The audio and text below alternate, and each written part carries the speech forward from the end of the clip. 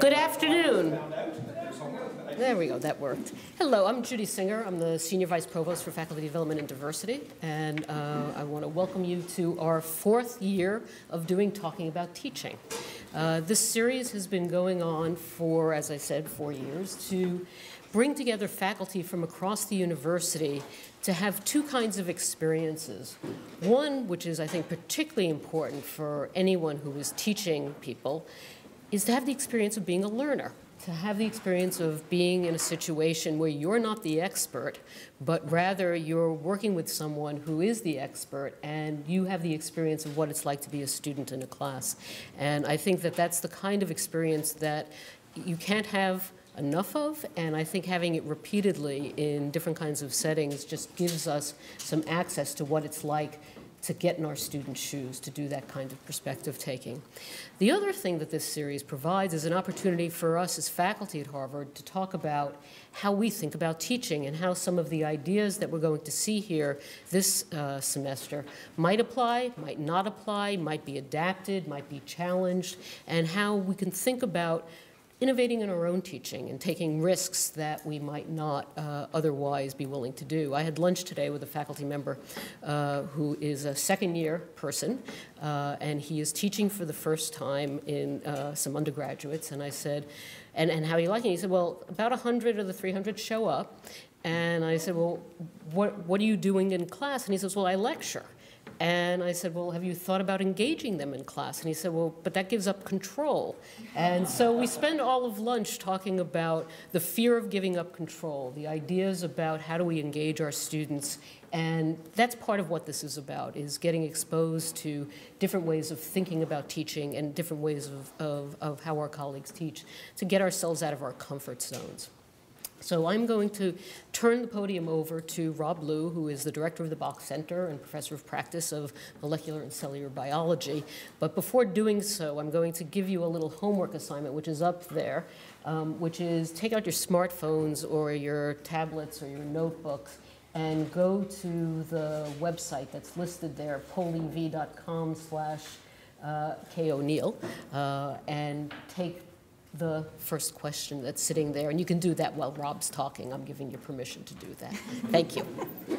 Um, so it gives me great pleasure to, with Judy, kick the series off with Kelly O'Neill.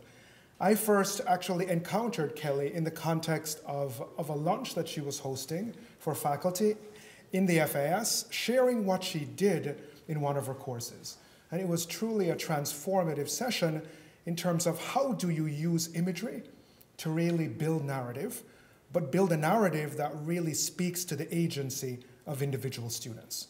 And so one of the things that we're really interested in doing sort of with the series of talks that we're having this time, or sessions this time with talking about teaching, is really focused on how do we support engaged learning in our students through stories? How does the formation of narrative play a critical role in that process? So Kelly, I think, is the perfect person to kick off the series for us. So Kelly, she, she's an associate and professor of history um, here in the Faculty of Arts and Sciences. She serves on the executive committee of the Davis Center for Russian and Eurasian Studies and is also a member of the Committee on Inner Asian and Altaic Studies. She's also a faculty associate of the Weatherhead Center. She received her PhD here at Harvard and her bachelor's degree at Amherst. Kelly has a remarkable breadth of how she tackles history. She looks at things as varied, for example, as 19th century sort of Black Sea slavery, to what's happening in terms of Russian winemaking and the Russian shipbuilding industry. So she has a remarkably multidisciplinary and multifaceted perspective on the issue of history. So please join me. Oh, and I should also say, and this I think is very important, Kelly is actually on leave this time. and she is here. So I think there should be an extra loud applause for that. But I think without question, she will allow us to really do the arc effectively that we hope happens at these sessions.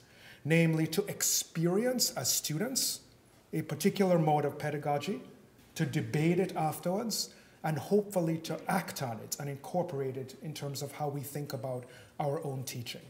And on that front, something that you will experience this year is that we will have follow up emailings to all of you with informational resources on everything that you hear about that you might be interested in from this session. And there's also a follow up series of lunches that you will also learn about to continue the discussion as well.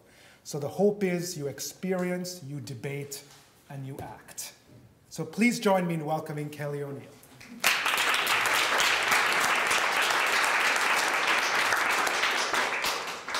Thank you, everyone. I'm sure you all know that I would be a fool to have said no when Rob asked me to, to be here today. I don't yet have tenure, so one doesn't say no to these things. it's no, it's, it's truly a pleasure to be here. It's an honor to be here uh, presenting at the, the first um, series, the first of the Talking About Teaching series. Um, this is a subject that's near and dear to my heart, and I'm very grateful for the invitation to be here. I'm grateful to Colleen Burgess and the staff of the Bok Center for all the work that they did to make this happen. And I'm grateful to all of you. I know that time is precious, and you have carved out time in your day, and I'm grateful for that, and I hope that we can make it count.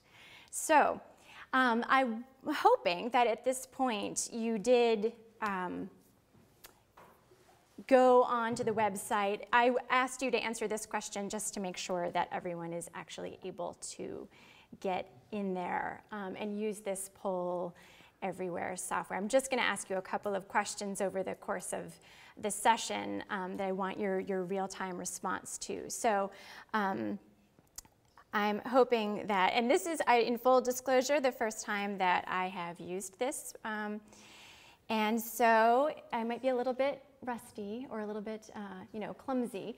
But here, okay. So it looks like we have at least some people up and able to, to access the, um, the site. This is just proof that we are sustaining ourselves and ready for a really engaged session. Um, good. Well, then we will come back to that in just a moment. Um, Today is all about experiencing, doing, building, um, and, and talking, and, and it's not supposed to be about me talking. So I just want to say a couple of things very briefly to kind of foreground the exercise that I'm going to ask you to, um, uh, to participate in. And my plan is simply to share with you a teaching strategy that I have been working on in fits and starts over the last couple of years. And it is essentially my own homegrown kind of response to some of the challenges that I have found teaching the history of the Russian Empire to undergraduates. And really one of the, the main challenges in teaching, wanting to teach a really interesting and rich history course is that most undergraduates don't walk into my classroom speaking an area language. So um, there's a, a wonderful amount of translated material available for the Soviet period, there's less material available for the imperial period. And so that has meant that I've had to be a little bit creative about going out and finding really juicy primary sources to bring into the classroom to make history uh, come alive for my students. Um, and so very early on, I turned to visual material as one of the really great sources of, of accessible stuff. Um, and so in my classes, I use paintings and, and postcards and engravings and maps.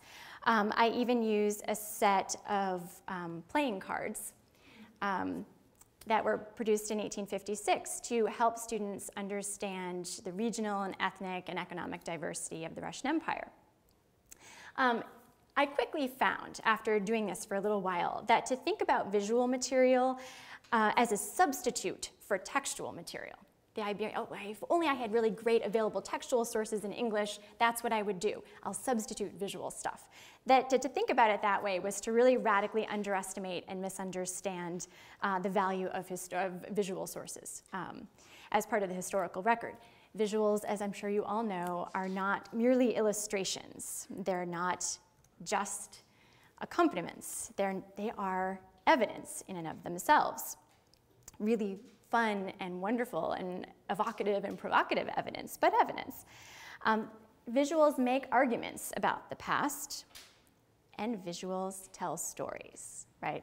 I shouldn't even articulate the cliche that you know, a picture is worth a thousand words, but there it is, right? It's, it's waiting to be said.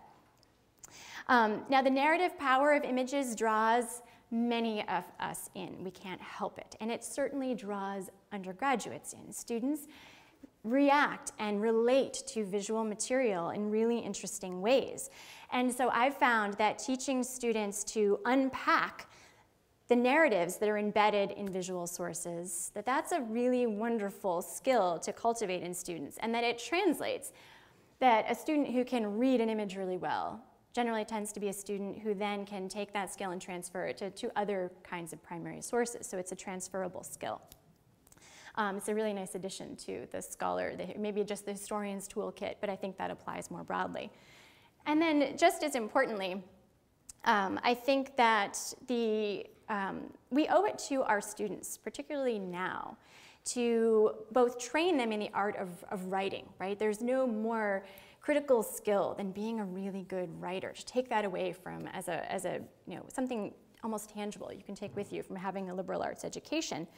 Um, but we owe it to our students to expose them to the idea that out in the real world, they will be making arguments and, and telling stories through a variety of different media.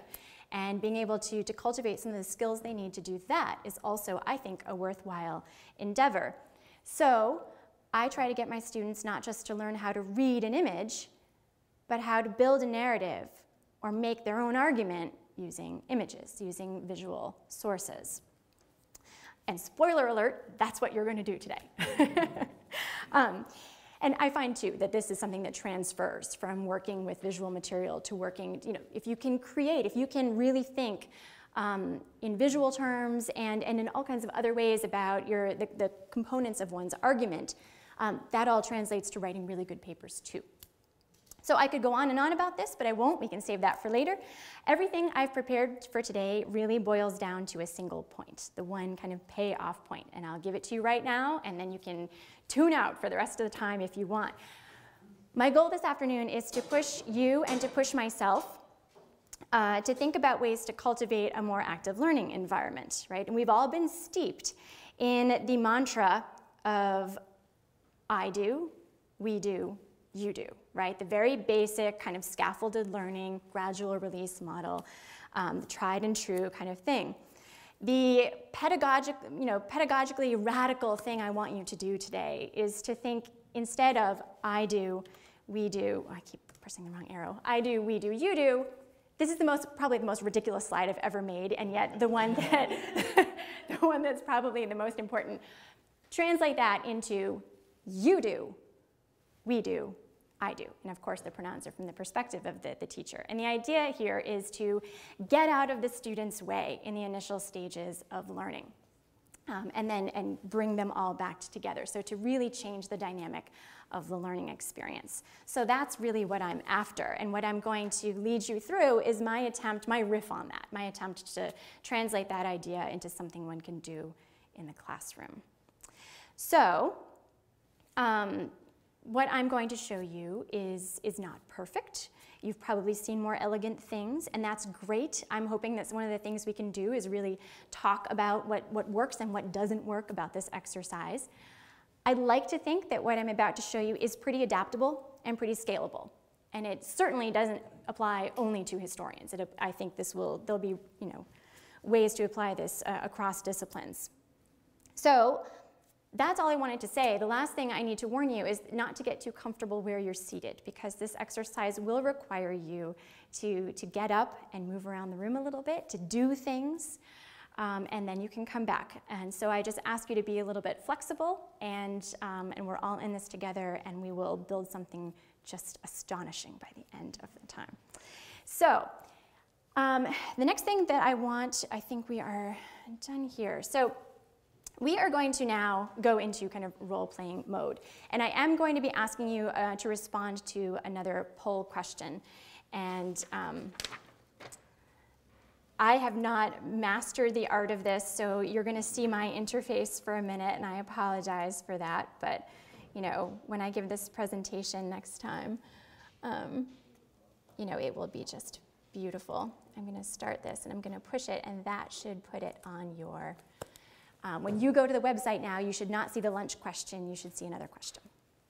Okay, so here we go.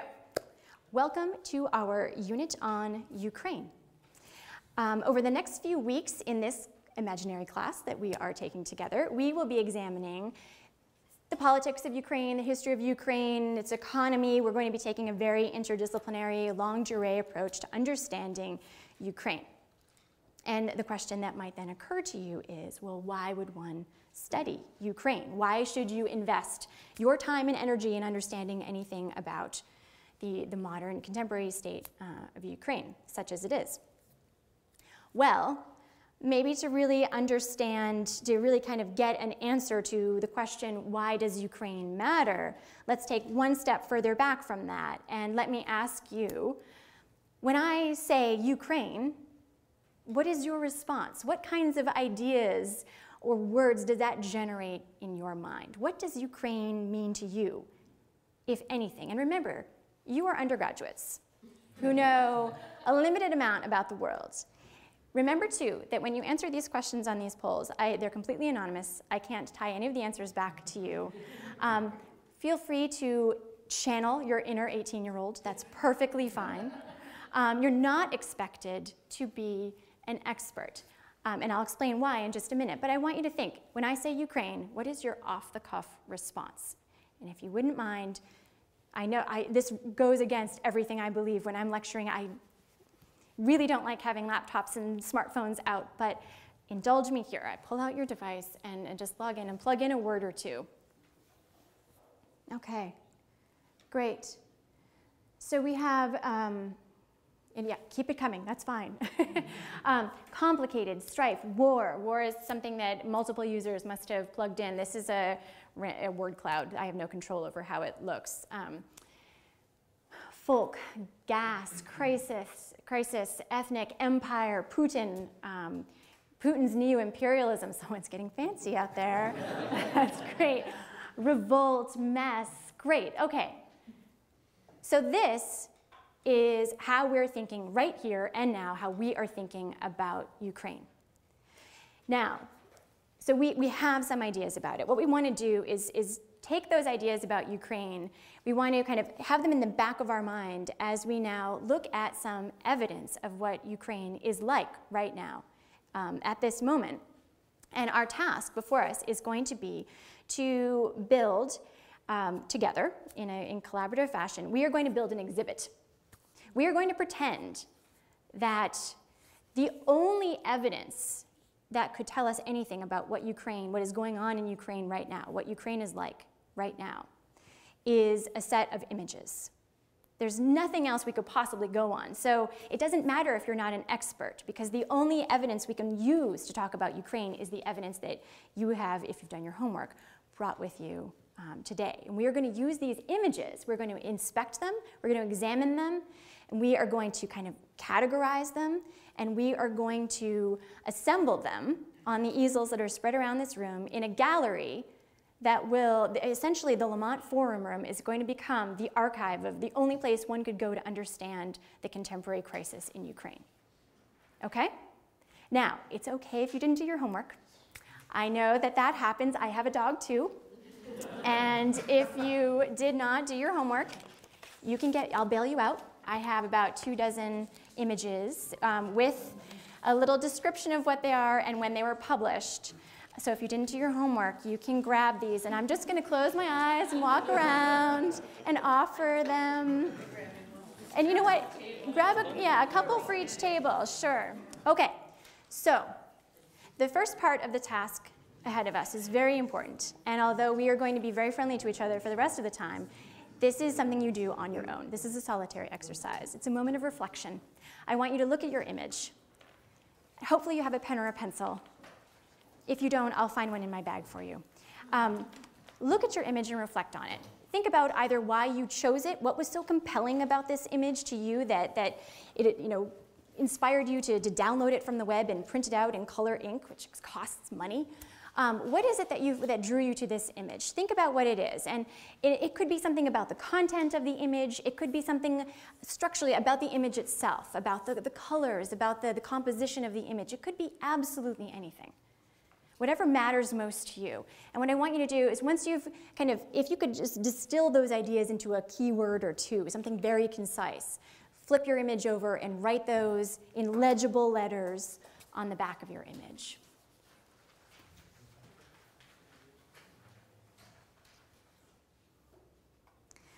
Now, now that you've had a chance to process reprocess your image, um, we'll take a break from role playing for a minute. If you really were undergraduates and I was really concerned about getting you to talk to people that you didn't know, I might kind of use a random distribution process to put you in different groups. But um, let's, you're comfortably seated for now. So let's stick with our groups.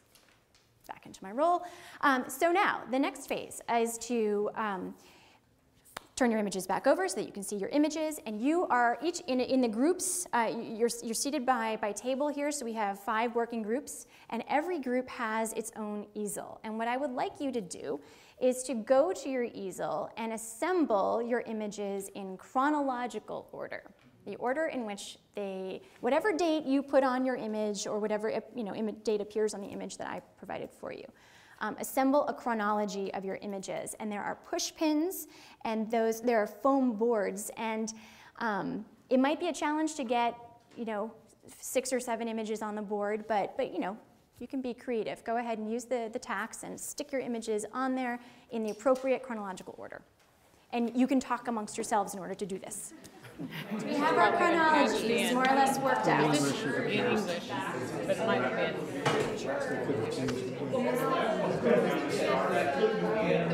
Actually. I'm hearing lots of good conversation and questioning of, of what you're finding. The idea that the chronology is not as self-evident as it might have appeared. And that's all well and good. I don't want you to get become too wedded to these chronologies, though. You're going to be forced to, to move on from them. The next step, now that you have kind of wrangled is everyone listening, my dear young undergraduates? Are we paying attention? Okay, all right. now, everyone, in theory, if we, you know, if we wanted to milk this exercise for all it was worth, we could go around the room and talk about the different chronologies and decisions that went into to compiling these chronologies. That's one way to kind of extend this exercise. And in a history classroom, that might make a lot of sense. I'm going to skip over that little kind of tangent and move on to the next thing. Now, you have assembled these lovely chronologies, you've ordered your images, and I'm guessing that in the process of establishing this chronology, you have been thinking about the content of the images and the, what they're suggesting, the story that they're telling about the crisis in Ukraine. Now, painful as it might be, the next thing that I want you to do is to go back to your easels and take your images down. I know, it's okay. Turn them over and put them on the table so that everyone can see the, the keywords, um, the list of keywords that, that you generated when you were doing your individual reflection. And one person can do this. You don't have to all own your individual image. That's perfectly fine. Just someone needs to pull the images off the easel and put them on the table so that you can see um, the keywords that, that you generated. Your task is very simple. I want each group to select or generate two themes, two keywords that you think belong in this exhibit. Remember, we are, we are creating an exhibit that will explain what's important, what's significant about the crisis in Ukraine. So I want you to identify uh, two themes, themes among yourselves that you think should be in that exhibit. Okay? Now, the trick is you can't pick these themes from out of the blue. You don't have to choose a theme that's written on the piece of paper. You can. You can use those as a really nice foundation. But your themes absolutely have to have some connection to the visual evidence that you have before you, because that's all we know about the crisis in Ukraine. So you have to work from what you have in hand. All right, so each group, I'm just going to give you a couple of minutes, pull your images down, look at the keywords, that's kind of your starting place. Select two of them, or agree on two other keywords or themes that describe the crisis, that you belong in this exhibit, all right? And I would like one uh, or two people in the group, once you've decided on these themes, go back to that poll page and you'll see that it's now asking you um, to, for the themes. And I want one person to, to write in each theme. So we'll have all the themes up on the screen and we can look at them together. Okay? Yeah, I know, that's, I was just gonna tell you, Jason, I guess, you can register yourself. Why would we, why would it, yeah.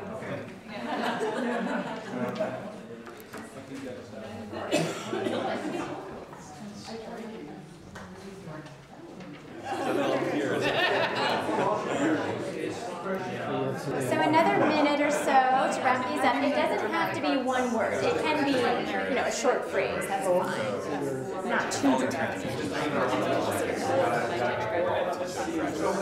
So we should enter.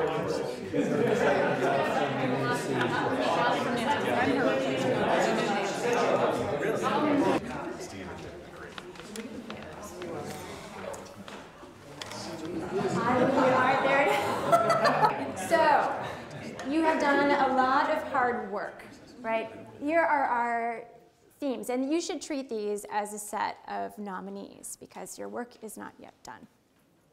So, um, as you will see around the room, we have five easels. We now have 10 potential thematic groupings for, for the images that we have here in this all important archive. Um, here they are the new normal, discontent, symbolism, nationalism, suffering, divided and layered. It's a setup, oppression and suppression, I, we, you, and ethnic identity endures.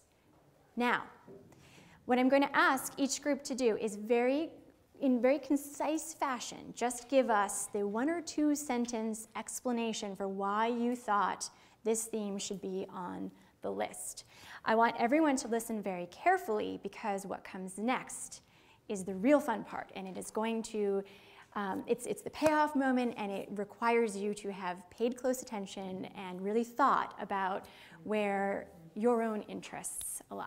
So, if why don't we start maybe in the back of the room and have um, the group in the corner, just one of you, if you wouldn't mind volunteering, one or two of you, just give us really the you know the, the thumbnail sketch version of why you why you uh, nominated these two themes.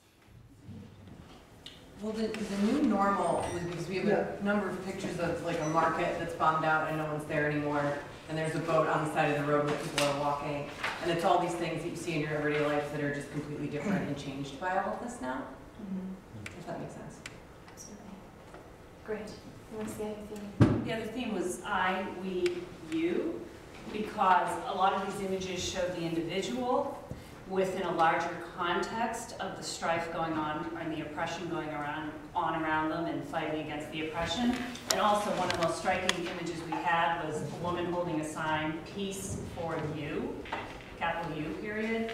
And so the theme of the individual, I, we, in this struggle together, and you for Ukraine. Okay. Go right ahead, this one.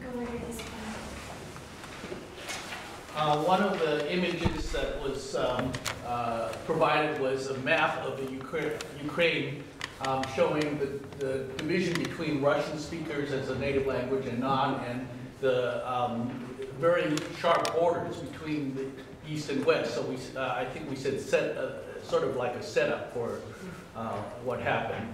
And the other one was sort of cycles of suppression, uh, oppression and suppression both governments, um, political governments sort of getting involved and uh, to sort of suppress protests against each other. So there's sort of cycles of suppression and oppression. Great, thank you.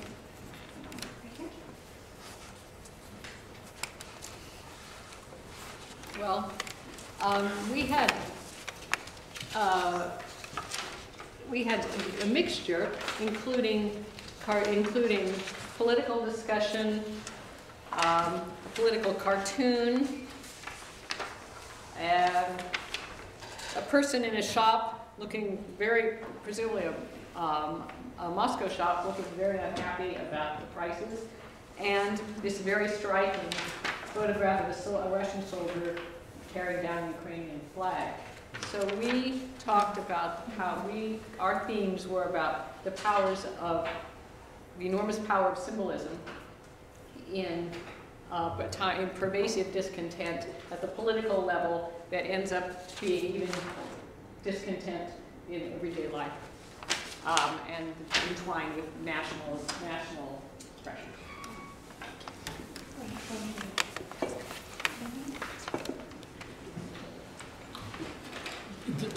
The Divided, we were working off a map, just the same as it's a setup, but the, the layered point, we had divided, divided and layered were our two words that got up there as one that the, the layered point was, we had several photos that, that showed very militaristic things and then very non-militaristic things going on exactly, in the same photograph. This is three monks and two uh, armed people in front of them. We had several photos that had that, had that aspect to it.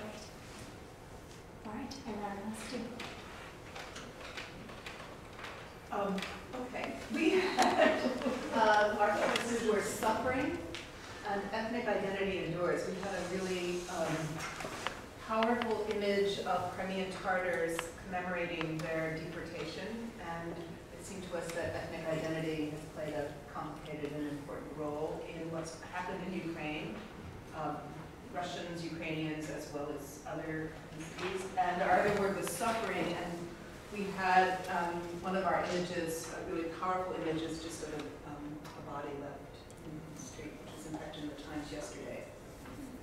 Um, as well as an image of um, someone just alone in an apartment. So a sense of interior life that was going on while so much was going on. Great, all right, so we have a really nice range of, of nominees here that are focusing on all kinds of different potential aspects of this crisis at, the, at various scales, the human individual scale, um, at the level of, of geopolitics. Um, there's, there's a lot here. Our task, or your task now, is that knowing you have finite easel resources, um, that you're going to have to choose five of these themes that are going to be, these are going to be the, the central nodes around which this exhibit um, pivots. We're going to have to call this list. Now, I hope when you're listening to the description of these themes, you know, you have seen not only your own image, you've seen the images, the other images that are at your table. Um, there are lots of images out there that you haven't seen, so I think we're going to need a little bit of feedback from everyone um, to get a sense of what, you know, what we really think. What are the, the five themes that we are going to um, mobilize around? So, does anyone want to speak to advocate for a particular theme that they think just has to be in there? It might be one that your group generated and it, you know, you might be inspired by what someone else came up with. What do we need to have in this exhibit?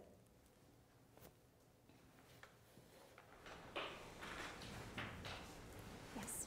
So I vote for the new normal, that against this background of suffering, life continues. Hmm. Okay, so and one of the things that you said the word suffering, right? So one of the things that that kind of suggests is that you know we might be combining a couple of these categories, right, in, in a productive way. So we might choose the new normal and kind of subsume suffering within that, right? That might be one thing we decide we want to do. Yeah, and that helps. We had a picture of the old normal. Uh, So we can, it, it helps bring that, the old normal in compared to the new normal. Okay, so we'd have an element of change over time, which I think was also a recurring theme in some of these among the nominees. Okay. What else needs to be on the, in this exhibit? We have the new normal is, has been uh, suggested as a candidate, and it will stand unless someone tears it down. but we need four more.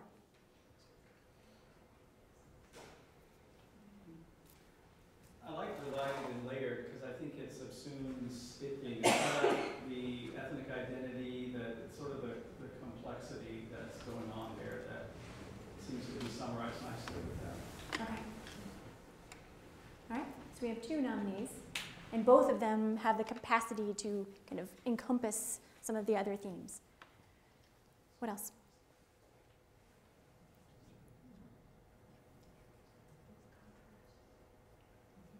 I'd say nationalism. I feel like that's very kind of strongly conveyed in a lot of these images. Absolutely. Okay. Those of you who are silent will have your opinions trampled upon by those who are not silent. So we've got three so far. Two, two So more that gets spots. back to discontent and suffering, right? It does. It does. In fact, we might be coming towards a meta theme, right, of, of the whole exhibit. Yes. I like it's a setup because of this map and the, the way that country was divided before it was divided. Hmm. But I think divided and layered touches that too. Well, that's true. Put that in there. And ethnic identity feels very important to this as well. I vote for that. Okay, new normal, ethnic identity, divided and layered, nationalism. So almost these, several of these things want to be contrasts. The old world, the new world, the layered, mm-hmm. layered, mm-hmm. nationalism, ethnic identity. Mm-hmm. Each one of these is like a, uh, some kind of, they're, they're tension with each other, that we're trying to encompass something that seems incomprehensible to us sitting here in DP Harvard Yard. Is, is these, it's this, it's all a study in contrasts. And then it's the contrasts of the ethnic and national, the contrast with the old and the new. Uh, Each, one of these almost you want to have with that kind of imagery. Just inter just to build off that point, I think that the thing that we were speaking to in our group is like this tension between the individual, like individuals' capability, uh, their abilities to make decisions as opposed to like, we have some pictures of like these small actors, like a man throwing a rock. And then we have these large, mobilized, organized movements, like these huge struggles tearing down statues. Um, and so that's, that's, that's something what we're thinking with, with uh, with you as well. Well, then, why don't I issue an executive decree and say that IWU is going to be the, the fifth of our you know, themes, and that way we'll have all kinds of ways to play with productive tensions and issues of scale, and I think that will work really nicely. Okay, so um, I'm, I'm just going to ask for a random volunteer who's sitting close to an easel. Um, who can write. There's a piece of, you'll find two pieces of paper. Um, if one of you who's sitting close to each easel, um, Stephanie, if you wouldn't mind just writing down the new normal.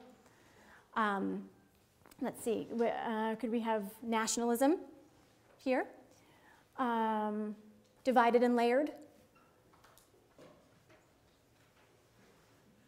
Oh boy, now I've forgotten. Um, I, we, I, we, you, and what was the fifth? Ethnic, it's a setup. Ethnic identity. Ethnic identity, sorry, sorry. Eth- and ethnic identity. If you could just write, each of you write on one of those pieces of paper in rather large print. And once you've done that, all right, so we have the new normal, nationalism, ethnic identity, um, divided and layered, and I, we, you. So now, this is the most important part of this whole thing. I want you to reconnect with the image that, that you brought to the table. If you didn't bring an image, choose one of the leftovers that, that's on the table, one that you want to own. And I want you to decide where that image fits best in the exhibit. And I want you to go get up, go to the easel that best fits your image.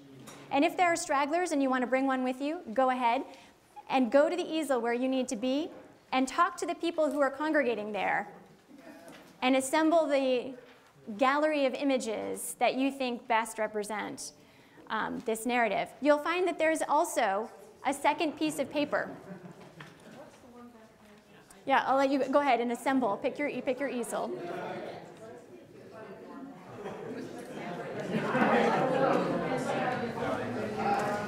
I think that this is what we're supposed to do. I think that's right, yes. So, okay. Now, stay by, stay by the easel where you're attaching your image. And I was waiting for you because I, this is the only place I can go. I'm sure the next step is I think that's, that's perfect. Absolutely, it could be nationalism, it could be I, um, the, the level of the, you know, the anon- anon- anonymous group of people. Either way. Um, I'm sure that, so we're supposed to speak to him. divided. Yeah, yeah. Okay. Lots of ways. Because I look at that and I think that's the new normal. Now, as, as you are putting your images up, Kelly, no one wants to talk to me. oh no, I said this, I gave away, I had no idea, and I said this is the wrong one. Excellent, all right. Now, the last thing that you have to do, this is the final step here. If you have committed your image to an easel, and other people have too, there's a second piece of paper there. And I would like you to just really, we've worked on these images for a while now. I'm going to give you like two or three minutes. And I want you, the last bit is for you to decide, and of course this is something you could extend if you were in your class and you wanted to focus on this, essentially produce a wall text that is going to go with this part of the exhibit. A very short statement of what is going on in this series of images that have now come together. It's probably a very different series of images than you had when you were you know, putting up the chronology. So probably this series tells a different story.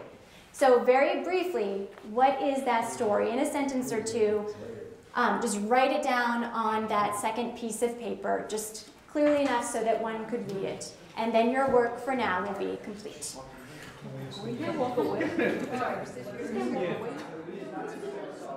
First of all, can I use square words? together. Yeah, so it's, those So can you explain to me what's going on? Because I actually don't feel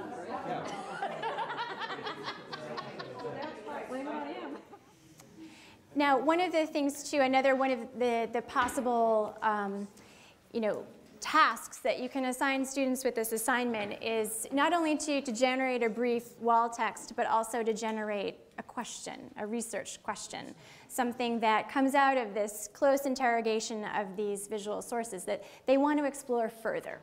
Um, right, we started from the position that they, they're not expected to know anything about this crisis, and the idea here is that going through this process, they now know an awful lot about it. So that is something that I, I try to do, is get students to generate their own research questions. Um, I didn't ask you to do that because I've put you through enough, and that's, that's fine. But you now have your wall text. Um, we'll leave these up, and of course we can go around and enjoy them. Um, but why don't we just go around and have one representative from each of the, the thematic groupings just um, read the wall text so that we all have a, a nice sense of what it is that we've produced, these five meditations on the meaning of the crisis in Ukraine. Um, how about ethnic identity? Would you mind reading us your wall text? I know you're not seated necessarily, or you know, per the person closest. Terry, would you mind just reading Nope, the wall um, if I can read it. Um, The crisis evoked old tensions between different ethnic groups living in close quarters in a small region. Um, Ethnic identity, I will say, uh, use a euphemism, screws up the world. It was, it was the eighteen-year-old Judy Singer who contributed the original text. Let's have that known. Well, it definitely screws up the world, you're right. Thank you. Stephanie, would you do the honors? Um, so ours was the new normal, and we were not nearly so eloquent, where it's very brief. Life continuing amid destruction, living and suffering in the new normal, and then just the word surrealistic. Okay. Nationalism. Uh, Symbols of nationalism are used to manipulate and control the emotion of the people. There was a lot of nuances in there that we wanted to go in to talk about who was controlling who and whether this was um, the people controlling the event or the leaders controlling the people. Thanks. This was divided and layered. So deep, long-standing, and multiple divisions make solutions nearly impossible to achieve. And how will you? The crisis in the Ukraine expresses the struggle of the individual within the community of we to fight against oppression. Peace for you. Thank you. So let me just contrast what you have all generated over the course of the last hour with what you started out with. And I think there's a reasonable amount of overlap, right? You weren't, there were kind of intuitions um, that, that nationalism, crisis, strife, um, trouble, mess, complicated, right? All of this was there in the kind of the inchoate, off-the-cuff response um, to the idea of Ukraine. And, and now, an hour later, um, let me congratulate you on producing five far more sophisticated and more eloquent kind of expressions of, um, of what is significant about the crisis in Ukraine. And the task for us moving forward um, through this unit and over the course of the semester is to continue to unpack um, a lot of these, these contradictions, these, these puzzling tensions, uh, the relationships between ethnic identity and religion, um, the relationship of the individual in Ukraine to the state, um, the role that nationalism has played and the idea, again, this, the agency of, um, of the individual versus these kind of state level structures and possibly the, the legacies of, of the Soviet past and possibly of the imperial past. Um, the idea of, of space is something that's come out in various ways, whether it's political territorial space or the space um, one inhabits in one's daily life, spaces that are vulnerable to destructive forces and um, you know, sites where emotions come out, emotions that start out maybe as personal trauma and suffering and then get translated into radicalized nationalism and mobilize people to do things they would not have, have done otherwise. There's a lot of really great, fruitful um, work that we can do on what you have generated through this exhibit. So um, congratulations, everyone. That was fabulous. Well done. You all get an A. so that's, that's the end of it. The last thing that, um, that is another possible kind of knock-on or you know, extension of this is that um, I like to use this kind of exercise, something that you do in the classroom together as the foundation for an actual project that will then continue to have life. So this isn't something that just goes away. You've worked really hard. Um, so I use a, one of the, the tools that, um, that is now available. There's a, it's it's called Omeka. It's a, it's a great kind of um, software that allows you to, to take images and curate them and arrange them into exhibits. And so what my students would then do, we did in a class um, last semester, a class I co-taught with a colleague in Slavic, Julie Buckler, um, was to have the, the online curation then reflect the curation that we had done as a group. And, um, and it's, it's a nice way to kind of extend. And then you can go into all kinds of things about capturing metadata and bibliographies and issues of copyright. You could do any kind of extension you want with it, but it's nice to have that kind of reflection um, and the idea that the students, the work that they've done together in the class then has an afterlife um, and something that they can think about over the course of the semester. So that is, you know, the extent of what I wanted to, to share with you. Um, I was going to ask you to go back and, and do one last poll and ask you, which I think we'll skip and just turn it over to um, questions and, and you know, conversation.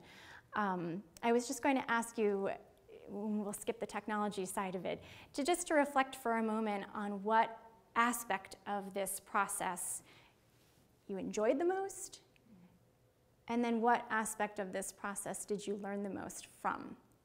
Was it the process, the moment where you were given the, the space to reflect on your image as an individual and be alone with your own thoughts, right? Was it the moment where you came together and you were asked to assemble a chronology, right? To, to, there's a very basic logic to it. It was a moment where you started working with someone else, you're in a group context, but there was a relatively achievable goal. It wasn't too messy and too fuzzy, although some of you quickly came to you know, some of the fuzziness of assembling chronologies. Um, was it the process of thinking about all the themes, seeing what everyone else had done, discussing it, and thinking about it? You know, or, or was it the, the last thing we did, placing the image that, you know, your own bit of this, your own piece, into, into the larger work and kind of seeing how it all came together? And you don't need to answer that question right now, but I, I think it's something to think about. What part did you enjoy the most? And what part did you learn the most from? Are they the same or are they different? And one of the things that I think we can talk about is, you know, there's, of course, everyone knows that there are all kinds of different learning styles and everyone, I, I actually, I was terribly interested. So I took the online quiz that you can take if you haven't done. It's fun to do. It takes all of five minutes and it will tell you what kind of a learner you are. Are you a visual learner, a logical, a verbal, oral, physical, um, solitary, or, or social? And the quiz told me that I am exactly, I'm, I'm everything. There's nothing I do better than anything else, which was very disheartening. Um, but, but, uh, but you can you know, read more into that. But the, you know, I think the important takeaway is not for us to think about pigeonholing students as particular kinds of learners, but thinking as teachers about the various ways that we can engage them in a variety of different ways to activate different parts of their brain. You know, the more active we are, you know, the, one of the reasons why Rob has been such a huge champion of, of active learning is that I am willing to bet that you will remember far more about the crisis in Ukraine having gone through this exercise than you would have if I had stood here for the last hour and lectured on it.